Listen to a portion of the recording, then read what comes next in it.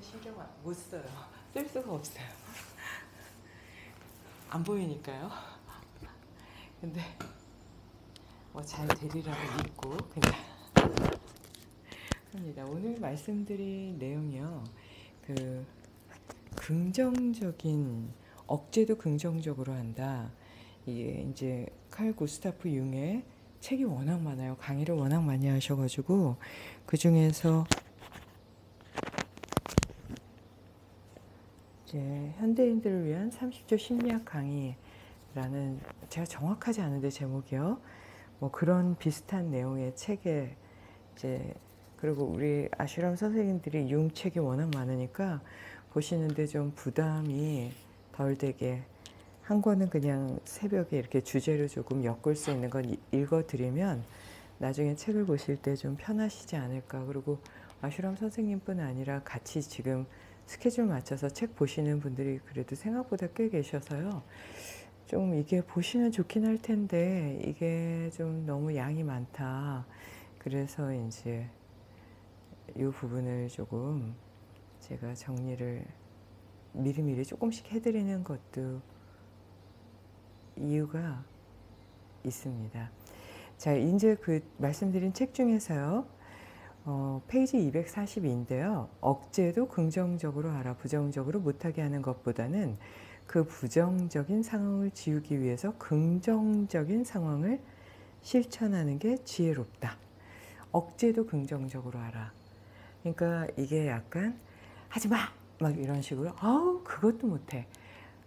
뭐 야, 예를 들면 부모님들이 아우 넌 이렇게 공부를 못하니 아우 넌 운동도 못하는데 내가 공, 뭐 공부도 못하고 뭐 이러면 정말 아이가 그냥 그 말 듣게 듣는 것만으로도 성격이 파괴될 것 같잖아요. 근데 똑같은 상황이에요. 애가 공부도 못하고 운동도 못하고 어머니가 봤을 때 그 못하는 기준이 뭐 이렇게 아주 목표가 높은 어머니들은 자식의 하는 게 이렇게 마음에 안 들 수가 있잖아요. 근데 이제 똑같은 상황이에요. 똑같은 아이를 두고 아, 넌 공부도 못하고 아유 너는 왜 이렇게 잘하는 게 없니? 너는 그래 음악 미술이나 딴 애들처럼 체육이라도 잘하든지 그것도 안 되면 좀 웃기기라도 해서 뭔가 방송에 나갈 수 있거나 노래를 잘하거나 뭐 뭔가 있어야 되는데 넌 하는 게 없니? 이렇게 자란 아이하고요.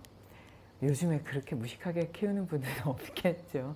워낙 지식들이 높아지고 수준이 워낙 높아져가지고 인터넷 덕분이죠. 김대중 대통령이 깔았던 그 인터넷망이 요즘에 정말 교육 체계까지 이렇게 어 그리고 80 넘으신 어르신들도 뭐 인터넷 그냥 편하게 하실 정도로 인터넷 강국이 됐죠. 그때는 몰랐지만 지금은 이게 참 전 세계적으로 최고인 상태가 됐는데요.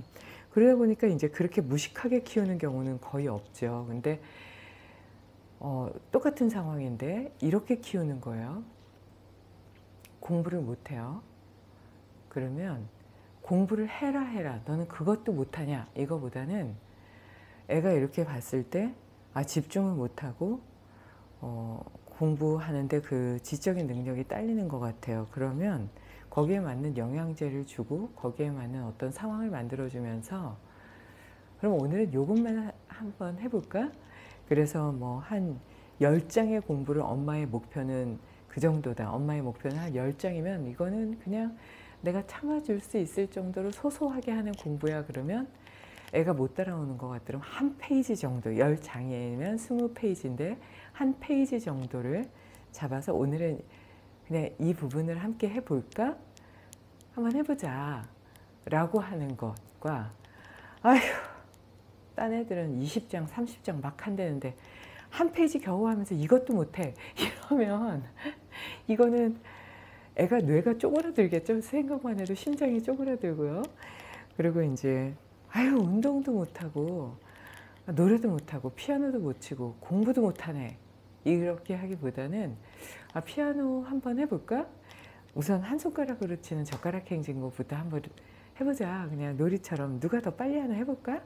엄마랑 이거랑 저거 해볼까? 이렇게 하는 것과 운동을 못해 하는 것보다는 야, 요즘에 막 연예인들 철봉 매달리기 한다는데 우리도 가서 한번 해보자. 애가 올라갔다 뚝 떨어지면 다시 해보지 뭐. 아니 올라가서 0.1초면 100번을 하면 그그 0.1초가 100번 모이는 거니까 얼마나 많은 시간이야? 해보자. 이렇게 하는 것은 완전히 다른 것 같아요. 그래서 애가 어? 그래? 0.1초가 모여서 모여지면 어? 이만큼 할 수 있네? 이렇게 생각하는 거하고 아휴 옆집에는 지난번에 보니까 한 1분을 매달리고 있더만. 너는 걔보다 잘 먹이고 너는 걔보다 더 좋은 거 사입히는데 너는 왜 그렇게 못하니? 이러면 이거 완전 하늘과 금. 이게 완전 차이죠. 자 그리고 이제 다이어트 할 때도 똑같아요. 이게 긍정의 억제라는 건 아 그래? 오늘은 밥 한 숟가락만 뭐 빼볼까? 아, 두 끼를 먹었는데 한 끼 반만 먹어볼까? 이렇게 하는 거하고요. 어, 이게 부정의 억제라는 거 아휴 내가 이, 이 짓을 하면서 살아요 내가 어, 내가 다이어트를 하면서 내 평생 이렇게 하는데 살도 안 빠지는데 내가 이거 뭔 짓을 하고 사는 거야 이게. 내가 이거 언제까지 해야 돼? 이러면서 아 내가 먹고 싶은 게 뭐가 있고 뭐가 있고 뭐가 있는데 오늘도 그걸 못 먹네. 이러면서 하는 다이어트는 완전히 달라요. 그래서 긍정적으로 아 내가 두 끼를 뭐 먹네? 어 그러면 식재료로 들어가는 어떤 어, 가성비가 이게 뭐죠 그 뭐라 그러죠 그 왜 음식 한 집안에 맨날 단어 까먹어요. 그거 있잖아요. 가성비가 아니라 아, 뭐 있죠. 그 밥 먹는 게 너무 많아지면 예, 그래서 그 낮아지네 이렇게 생각하고 좀 더 낮출 수 있는 거예요. 그래서 어 이게 경비도 많이 줄고 어 실질적으로 밥 먹는 시간에 내가 책을 본다거나 운동을 한다거나 나만의 시간을 더 가질 수 있는데 음식을 먹는 준비하는 시간, 먹는 시간, 씻는 시간 적어도 1시간 반에서 2, 3시간 뭐 긴 분들은 2시간까지도 걸려요. 그러면 그 시간을 내가 버는 거구나. 이렇게 생각하면 긍정적인데 계속 내가 못 먹는 것만 생각하면서 아, 맛있는 거 그것도 먹고 싶고 이것도 먹고 싶고 그리고 아니 그거 사 먹으면 되는데 그만큼 또 이렇게 생각하시는 분들은 그만큼의 경비가 주는 거잖아요. 그거를 내가 하고 싶을 수 있는 것을 더 할 수 있는데 그걸 반대로만 생각하시는 분들도 있을 수 있겠죠. 그래서 이런 식으로 조금 긍정적으로 생각하는 거, 억제도 긍정적으로 하는 거죠. 예를 들면 새벽에 일어나서 어, 나 잠 어떻게, 어, 나 새벽에 절대 못해. 막 이런 분들도 이거를 어, 절대 못해. 내가 어떻게 일어나. 그거는 불가능한 일이야. 막 이러면 정말 못 일어나지만 새벽에 일어나는 거 조금 힘들긴 한데 아, 그래도 새벽에 그 상큼한 향기가 있잖아. 아, 그리고 내가 시간을 돈으로도 벌 수 없는 시간을 버는 거네. 아, 잠을 좀, 뭐, 그럴 수 있다고 참지, 뭐, 좀 이렇게 꼬박꼬박 졸 때도 있는데, 좀 이겨보지, 뭐. 이렇게 생각하면서 잠을 이기면서 내가 나를 이기는 거잖아. 화이팅! 하면서, 아, 이 정도로 내가 내 욕구를 잘 조절한다면 어떤 상황이 있어도 좀 조절할 수 있겠네? 이런 식으로 긍정의 억제를 하는 분과 부정의 부정 억제를 하는 분들은 삶의 질, 자체, 질 자체가 완전히 다르고요. 심장에 오는 압박감과 뇌에 오는 긴장감이 완전히 다르다고 보거든요. 여러분은 좀 어느 쪽이신가요? 네, 그게 완전히 다를 것 같아요. 그러니까 어, 이런 분도 있어요. 결혼했다가 이제 요즘은 이혼하는 게 워낙 많죠. 근데 이혼하신 분들 같은 경우에 아유 조금만 더 참지 이런 얘기 절대 하시면 안 됩니다.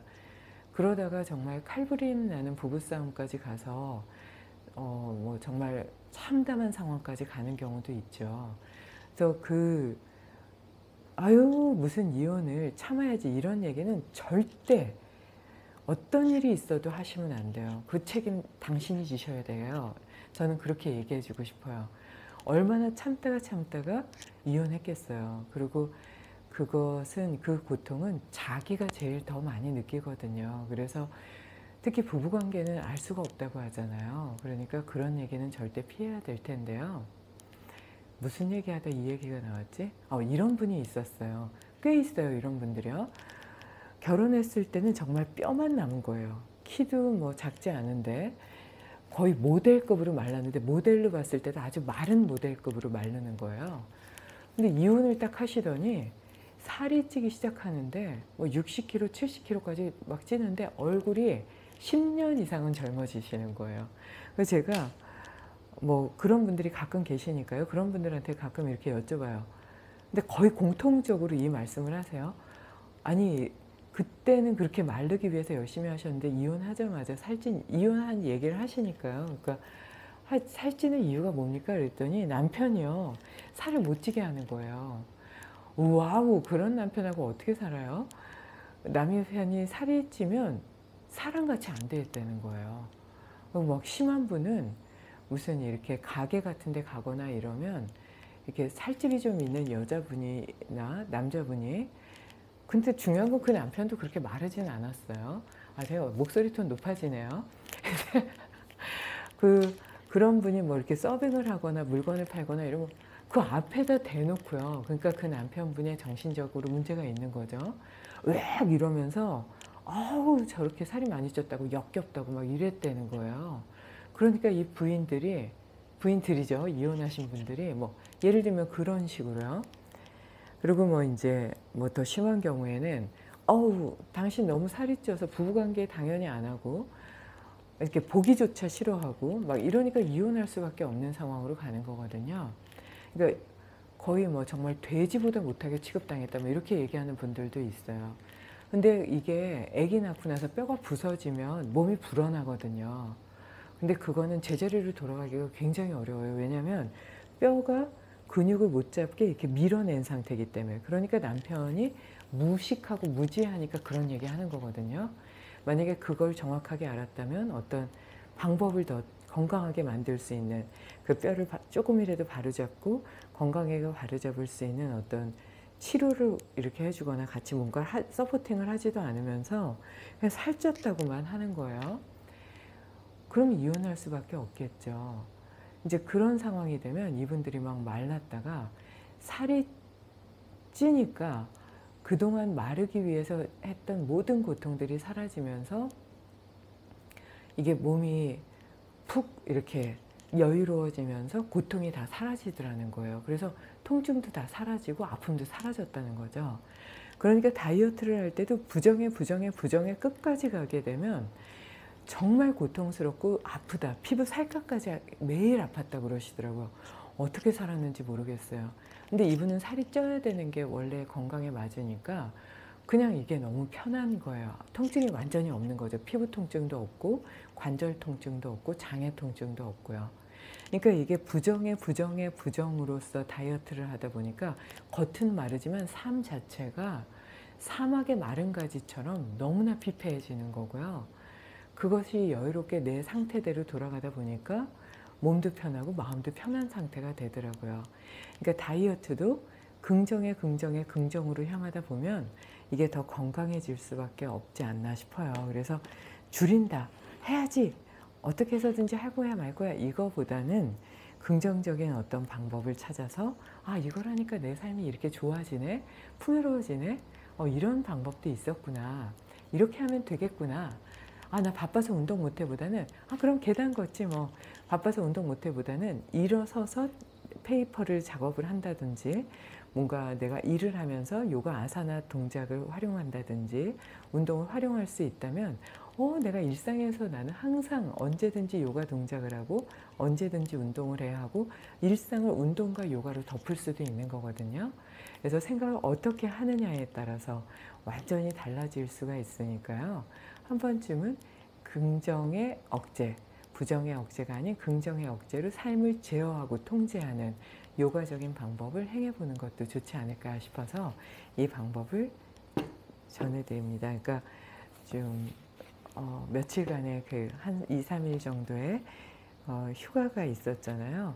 쉬는 날이 있었는데 일을 나가실 때도 아 내가 일을 나갈 수 있음에 대한 감사함과 어, 뭔가 함께 할 수 있음에 대한 감사함과 고마움을 새기고 나간다면 훨씬 더 하루를 감사하고 즐겁고 좀 자유롭게 시작할 수 있지 않을까 싶어서 이 주제를 잡아봤습니다. 수단이 팠다 읽어드릴게요. 수행생들이여 또 다른 방법에 의해서도 두 가지 원리의 관찰이 있을 수 있는가 라고 묻는 자들이 있거든 있을 수 있다 라고 대답해도 좋다 어떻게 그럴 수 있는가 어떤 괴로움이 생겨나더라도 모두 자양을 조건으로 한다는 것이 관찰의 한 원리이고 그러나 자양을 남김없이 사라지게 하여 소멸시켜 버린다면 괴로움이 발생하지 않는다고 하는 것이 관찰의 두 번째 원리다. 수행승들이여 이렇게 두 가지 관리의 원, 관찰의 원리에 올바로 방일하지 않고 정진하는 수행승에게는 두 가지 과보 중에서 어느 하나를 기대할 수 있다. 즉 현세에서 최상의 지혜를 증득하든가 집착이 남아 있더라도 하느님 세계에서 열반에 들어 다시 돌아오지 않는 님이 되는 것이다.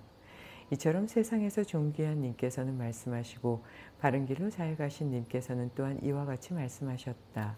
어떠한 괴로움이 생기더라도 모두 자양을 조건으로 한다. 자양들이 소멸되면 괴로움도 생기지 않는다.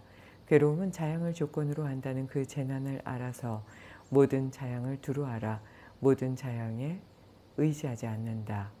질병을 여인 상태를 올바로 알아서 번뇌들을 부수고 가르침에 입각하여 성찰하는 지혜 통달한 님은 헤아림을 벗어난다. 수행승들이여 또 다른 방법에 의해서도 두 가지 원리의 관찰이 있을 수 있는가? 라고 묻는 자들이 있거든 있을 수 있다 라고 대답해도 좋다. 어떻게 그럴 수 있는가? 어떤 괴로움이 생겨나더라도 모두 동요를 조건으로 한다는 것이 관찰의 한 원리이고 그러나 동요를 남김없이 사라지게 하여 소멸시켜 버린다면 괴로움이 발생하지 않는다고 하는 것이 관찰의 두 번째 원리다. 수행승들이여 이렇게 두 가지 관찰의 원리에 올바로 방일하지 않고 정진하는 수행승에게는 두 가지 과보 중에서 어느 하나를 기대할 수 있다. 즉 현세에서 최상의 지혜를 증득하든가 집착이 남아 있더라도 하느님 세계에서 열반에 들어 다시 돌아오지 않는 님이 되는 것이다. 이처럼 세상에서 존귀한 님께서는 말씀하시고 바른 길로 잘 가신 님께서는 또한 이와 같이 말씀하셨다. 어떤 괴로움이 생겨날지라도 모두 동요를 조건으로 한다. 동요들이 그치게 되면 괴로움도 생겨나지 않는다. 괴로움은 동요를 조건으로 하므로 그 재난을 알아서 그러므로 동요를 버리고 형성을 종식시켜 수행승이라면 동요 없이 집착 없이 책임을 확립하고 유행해야 한다. 자, 내일부터는 44절을 읽어드리도록 하겠습니다. 등을 쭉 펴시고 턱을 당긴 상태에서 명상에 들겠습니다. 요즘